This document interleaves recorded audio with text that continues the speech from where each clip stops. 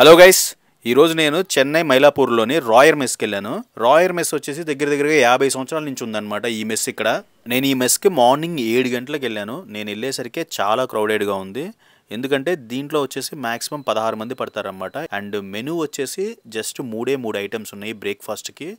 Idli vada and pongal. Quality and quantity consider చేస్తే prices are very reasonable.